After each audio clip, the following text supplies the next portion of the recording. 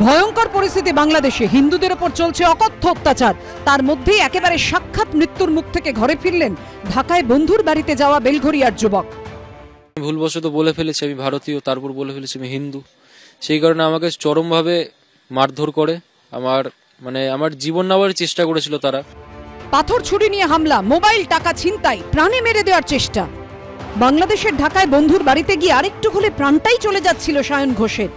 আমি ওখানে মোটামুটি আমি ইনসিডেন্ট হওয়ার পর তিন দিন ছিলাম প্রায় তিন দিন। আমাকে তিন দিন সম্পূর্ণ আতঙ্কে থা- থাকতে হয়েছে। ওই যারা এই আমার সঙ্গে এই কাজটি করেছিল তারাও বুক ফুলিয়ে মানে পুরো এলাকায় ঘুরছিল আর ওই বাড়ির পা পাশ থেকে মানে টোন টিটকারি টাইপের করতে করতে যাচ্ছিল। ঠিক কি ঘটনা ঘটেছিল?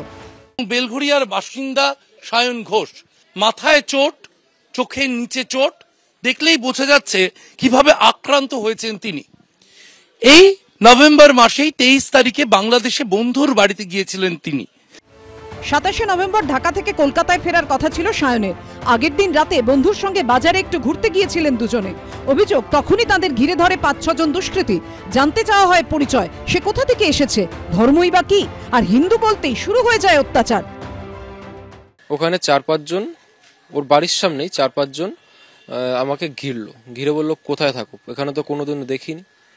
আমি বললাম, আমি ইন্ডিয়া থাকি। দিয়ে আমার ধর্ম জিজ্ঞেস করল, কি ধর্মের? দিয়ে আমি বললাম, আমি হিন্দু। সাইডে নিয়ে গেল, নিয়ে গিয়ে আমার পকেট হাতানো শুরু করল, ফোন, টাকা পয়সা সব নিয়ে নিল। তারপরে আমাকে মারধর করা শুরু করল।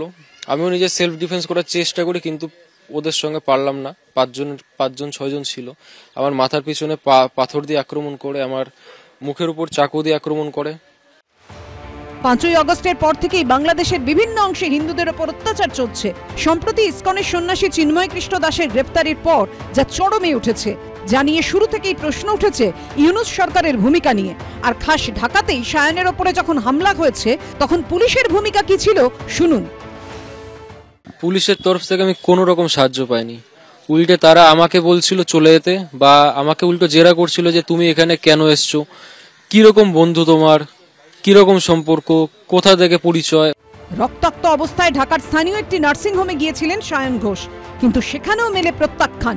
সায়নের দাবি কোনো রকমে আতঙ্কের রাত কাটিয়ে ভোর হতেই তার বন্ধুর বাড়ি ঘিরে ধরেন প্রতিবেশীরা। শুরু হয় শাসানি আমার ফ্রেন্ডের ফ্যামিলিকে হুমকি দেওয়া শুরু করল যে এ তো কেস করে চলে যাবে এই ছেলে। আপনার ছেলে থাকবে এখানে আপনার পরিবার থাকবে। আপনাদের সুরক্ষা কে কে দেবে? আপনাদের তো মেরে ফেলা হবে। তার উপর আপনি ইন্ডিয়ান হিন্দুকে আপনি এখানে আশ্রয় দিয়েছেন। তিরিশে নভেম্বর ভোরে বন্ধুর সাহায্যে লুকিয়ে গেদে দর্শনা সীমান্ত দিয়ে দেশে ফেরেন সায়ন। গোটা ঘটনায় সোমবার কলকাতায় বাংলাদেশের ডেপুটি হাইকমিশনে অভিযোগ জানাবেন তিনি। সায়নের মতোই বাংলাদেশের গোপালগঞ্জে গুরুধামে গিয়েছিলেন মতুয়া সম্প্রদায়ের গোলক বিশ্বাস। প্রাণ হাতে ফিরতে হয়েছে তাঁকেও। ওখানে পরিস্থিতি ভালো না খুবই খারাপ। ওখানে গোপালগঞ্জ গেছিলাম। সেখানে ওই একই অবস্থা মুসলমানরা হিন্দুদের দেখলে বাংলা ইন্ডিয়ান লোক দেখলে উল্টোওয়ালা গালি গালি গালাস করে। আর কি ওই ধরুন অকথ্য ভাষা গালি গালাস করে ওরা। যেখানে সংখ্যালঘু কম আছে সেখানে তো লুটপাট তো হতেই তালে আছে।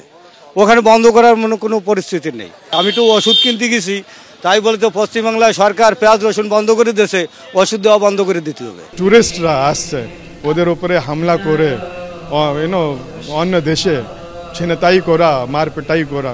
বলুন, এটা সভ্য সমাজের লক্ষণ হয়।